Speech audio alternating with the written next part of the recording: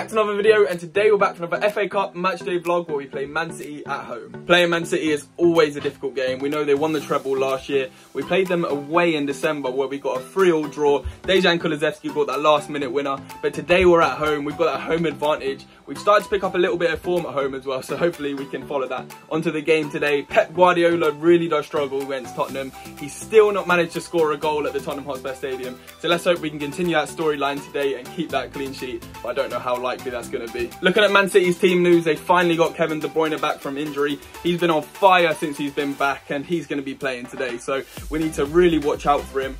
The main man though, Erling Haaland is injured, so he's going to be missing for them. But they've got everyone else fit. There's so many players out there that we need to keep an eye on. They won't give us a break, so we need to keep an eye on every single one of them. 100% intensity. And for us, the international duties continue for Heung-Min Son, Pape and Bissouma. So they're all still missing away competing for their respective countries. But the team news is pretty positive for us other than that. James Maddison has been in training for a whole week, so hopefully he can come in, get an important 90 minutes in the tank. The main thing is though, we need to keep an eye that he doesn't pick up another knock because we know that he can be injury prone. So if he can get a full game in, that'll be huge for us. And we also know that Van de Ven and Romero will start. So that's a solid backline, which we definitely need for a game like this today.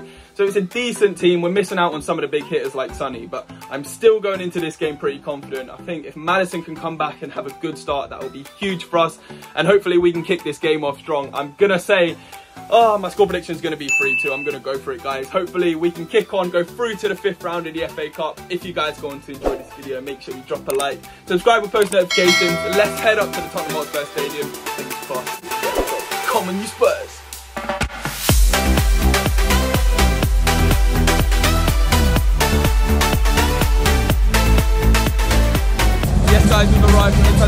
Stadium for this FA Cup clash against Man City and the team news is now out. Unfortunately for us, James Maddison is still on the bench. I don't know if that's because he could still be carrying a little bit of an injury, so maybe he'll only come on for half of the game, maybe in the second half, and then warm up for the Brentford game next week. But the defensive line's looking very strong with Romero and Van de Ven. We've got Pedro Porro and Udogie covering wide.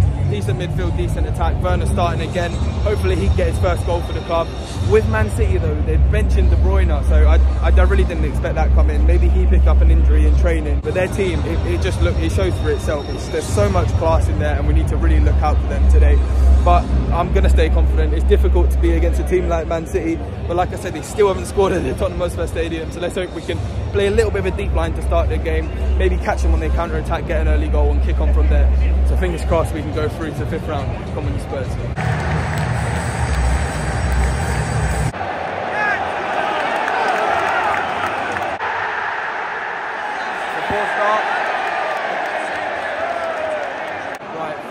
on, Spurs. first chance of the game went to City and they managed to knock in a bit of a scramble in the box, but it was offside, so no goal. But we need to be careful because an early goal is not going to be good.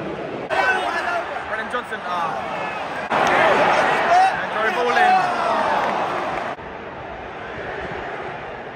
Out, out.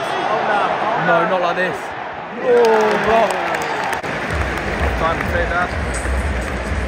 Right guys, half time at Tottenham Hotspur Stadium still a goalless draw currently. I believe if it's a draw at the end of the game, it's going to go to extra time and then penalties. But there's definitely some goals in this game. It's just a matter of time before they come. I'm sure once the teams tire out, we'll start to make some mistakes and then goals will come. But in this first half, they haven't been too much of a threat. To be honest, it's been pretty end to end. We've created chances, they have had to. From watching the game, I think we've had more of the ball. But like I say, when Man City are in front of goal, they're just so much more clinical than us. Werner, he's been fast, he's been running at them. He's had his typical wayward passes and shots. But we need someone to come on and be clinical. And I think James Maddison is that man. But what worries me is that De Bruyne is also their star player who could come on in this second half. I think maybe in the 60th minute Maddison will come on. That's normally when Ange makes a substitution. So just keep an eye out for him. Hopefully hold off until then. Stay solid at the back. Going forward, Man City haven't been too much of a threat. Alvarez has been knocking, but Mickey van de Ven has shut him out every single time. So hopefully more of the same, and we can progress through to the fifth round of the FA Cup. I'm going to stay confident and stay positive. Come on, you Spurs. Oh, good ball from Timo Werner. Go round him. Oh, Lucky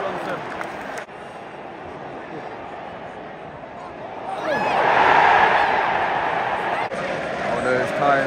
Jeremy Doku and Kevin De Bruyne are both on 25 minutes left at a time. Pep is not playing. Let's go. James Maddison is back. 18 minutes to go. It's his first start since October, November time. So let's hope he's fresh and he's ready to go. Push for this now. Come on. Oh, good save for Corio. Oh, is he on? Jeremy Doku. A good save for Corio. Oh, it's dodgy. How? He's fouled him. That can't be given. Surely not. Surely not. All over him.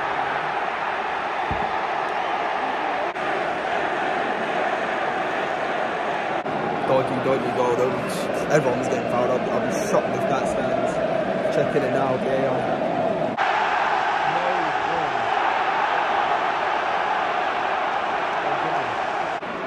Believe that. Was need to see that back slow motion, but it looked so dodgy. There was legs getting, legs flying everywhere.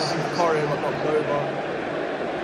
And that could be us out of the FA Cup with one minute to go.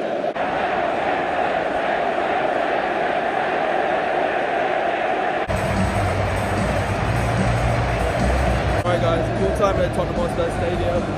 Tottenham nil, Man City one with a very late goal from a corner.